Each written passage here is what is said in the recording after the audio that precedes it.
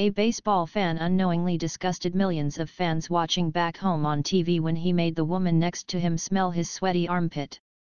The majority of viewers watching the clash between Miami Marlins and Washington Nationals on Monday were transfixed on Ian Desmond's game face. But as Desmond dreamed of making history with his bat, one disinterested fan, dressed in shades and a cream-colored vest top, decided to grab a handful of sweat odor from his armpit. What he did next sent millions of viewers reaching for the sick bucket. Cameras picked up the middle-aged fan as he smelled his fingers before wiping them on the poor woman's face who was sitting next to him possibly his partner. As she retches and tilts her head back, he's still not satisfied, as even goes back for another wipe, causing her to hurl once more.